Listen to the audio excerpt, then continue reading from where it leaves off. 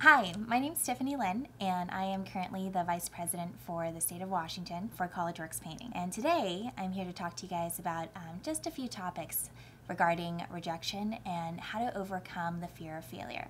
Whether people like to admit it or not, failure and rejection is one of the most common things that people actually come across on a day to day basis. That can be not being accepted on the sports team that you tried out for. Um, that can be relating to an audition that you had or applying for colleges and universities uh, that you weren't accepted to. Now, the important thing for you to be able to realize is why it is that you initially feel that way, um, but most importantly, what steps can you take to be able to actually overcome those fears? It was just yesterday I was taking a look and I read an article on Facebook, of course. It was talking about how there were seven massively funded startups that were all shutting down in 2017 um, peak valuation from $110 million upwards of $3.2 billion.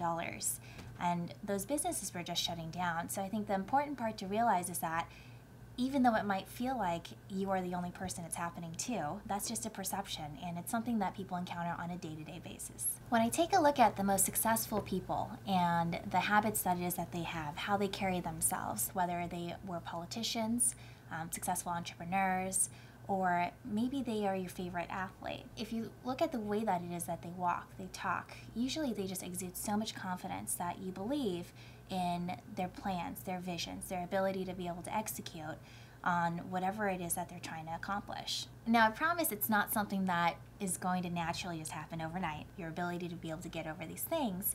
However, the most important thing that you understand is how to acknowledge how it is that you're feeling and most importantly, that you take the steps necessary to be able to overcome these fears. On a day to day basis, I work with very talented college students, and the concept of you know the fear of rejection uh, comes up constantly because they face it every single day while talking to clients.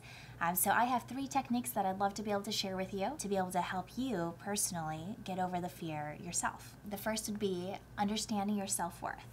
Second would be observation of others. And then third would be to attack it first. So, understanding your self worth typically requires quite a bit of reflection. Um, I find that you have to focus on three different parts of your life your past, your present, and then also your future. So, when thinking about your past, it's really important to be able to actually um, reflect on the activities and where it is that you spent the most amount of your time.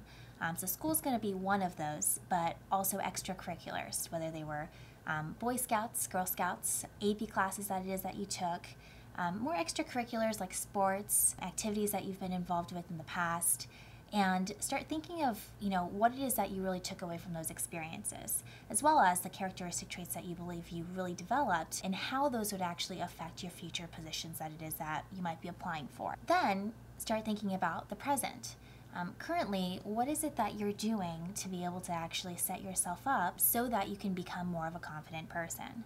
Now, reflecting when I was in college, I, I felt like I stood out, but not quite enough as opposed to, you know, other valedictorians, uh, some of my peers that went to Harvard University and Princeton.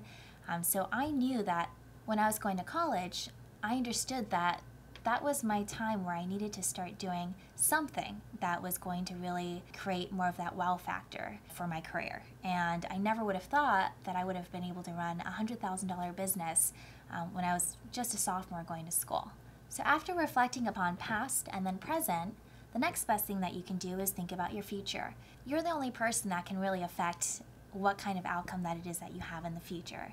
So, really, it, what it boils down to is a lot of the decisions that you make now and not letting little obstacles come in the way of you being able to accomplish your bigger goal. My second piece of advice would be just pure observation and jotting down notes. You can do this by observing videos, um, people on TV, movies, or even just on a day to day basis, people watching. Take a look at the way that they walk the way that they hold themselves. And it can even be affected by the way that they actually dress and their diet that it is that they have. A couple easy tips in being able to implement these things um, based off of your observation, I'd find that eye contact tends to be something that is extremely important when exuding a certain amount of confidence, as well as your posture. Simply the way that you walk, the way that you sit down, the way that you talk, making sure that you're facing up instead of looking down when you're having a conversation with someone. Um, those are probably the easiest tips that you can start implementing.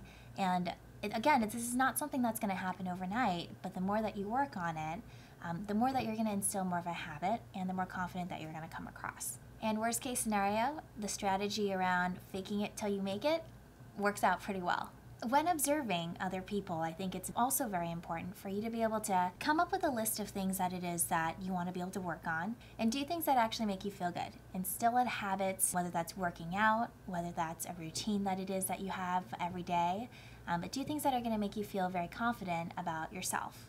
My third tip would be to attack it first, head on. Procrastination isn't going to get you to where you want to go. Worst case scenario, you get told no, and better luck next time. An example of being able to attack it head on would be if you had a client that you were waiting to hear back whether or not they were going to be going with you or not and working with you. If you don't ask the client directly and you prolong it for a day or a couple weeks, um, you can see that the, the fear of rejection is going to keep building up versus just attacking it head on and asking the client directly. When I was first starting off my professional life, my first week in the position as a branch manager, I had nine sales calls that I was going in to meet with clients. And I was so anxious and nervous that I ended up actually not booking any of them.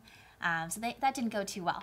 But What's important is that you take the steps necessary after those initial rejections, um, that you actually go off and implement a plan.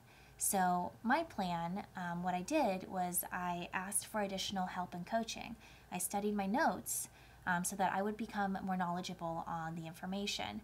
And then it's just a matter of executing it, um, attacking it first, and just going out there and doing it. So, today we talked about the fear of rejection and failure and ways to overcome it.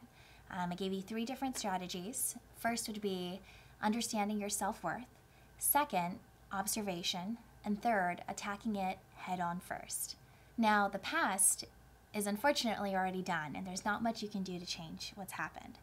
Um, the future isn't really quite here yet either. Um, so that leaves us with the present. What are you doing today to really help build the person that you want to become in the future. Thanks for listening today, and the best of luck to you in your future opportunities.